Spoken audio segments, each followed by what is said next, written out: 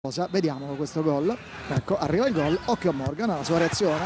La guarda un po' questo che va a fare gol. Allora, evidentemente, evidentemente Morgan qui aveva fatto la combin per intascare qualcosa di scommesso. Cioè, voglio dire, se non, Non ci, fosse, se non ci fosse da Pia, e ride anche Lucarelli. ad altra cosa. esagerare. Allora, scatta la tua querela nei miei confronti, però è tutto molto evidente, o no? Guarda, mh, questa mattina mi hanno chiamato per eh, dirmi che c'era questo video. Ehm, sinceramente, spiegandomi la cosa, non avrei mai voluto commentarlo. Però poi mi sono detto, vabbè, diamogli un'occhiata a questo video. Finito di guardare il video, ho pensato ancora di più che non fosse il caso di commentarlo. Però adesso mi trovo qua a commentarlo. Come mai? no, semplicemente per eh, dire che eh, è una situazione veramente kafkiana, no? Si dice così. Perché quello è uno stato d'animo in cui mi riconosco tantissimo. Tra l'altro quella partita eh, veniva dopo tre pareggi consecutivi, eh, 0-0 con la Lazio, 1-1 con l'Atalanta e 3-3 con la Juve. Il 3-3 con la Juve chiaramente era stato il più ravvicinato, il più mortificante a livello di eh, morale, a livello di entusiasmo per la piazza.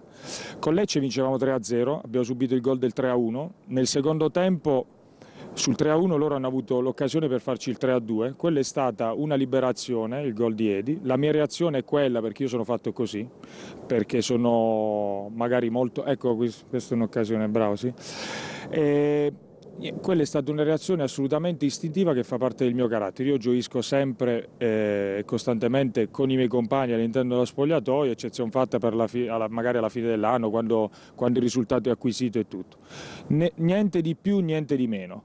Poi si vuole strumentalizzare, si vuole far caccia alle streghe, va tutto bene. Io sono qui per dire quello che c'era da dire e magari anche per invitare voi giornalisti o comunque chi ha fatto il video, lo, eh, viene a Castelvolturno, mi fa quelle domande che sono sul video, io gli rispondo, gli rispondo proprio con chiarezza e tutto, anche se dubito che verrà, primo perché penso che sia tifoso di qualche altra squadra e poi penso anche che sia un pochettino poco intelligente e forse anche nascondendosi dietro eh, internet, dietro questi mezzucci che, che di, di di intelligente hanno poco, soprattutto quando si riferisce a questi episodi. Soprattutto se usati in questo modo. Ma noi estendiamo l'invito, alziamo il tiro, capito? Se il signore fa un giro a Castelvolturno no, e, fa una, e, fa una, chiacchierata con voi, poi viene anche da noi a Sky Sport a spiegarci ah, quell'allusione. Perché, state... perché, noi avremmo censurato, capito? Perché Sky Sport allora, l'ha fatta vedi, vedere? Cominciano, no, cominciano ad esserci gli indizi.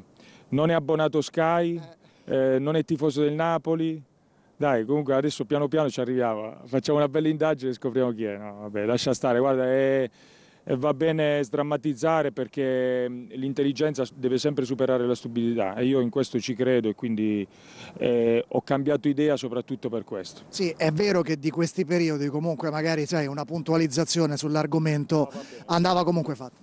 Sì, sì, assolutamente, per non poi...